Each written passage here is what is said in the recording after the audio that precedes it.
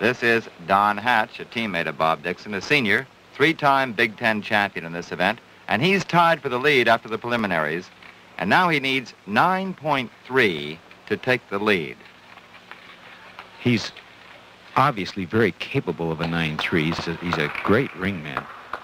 Now, international rules dictate that he has to do at least four moves considered to be of higher difficulty and two moves of superior difficulty. There's one of the superior difficulty moves there.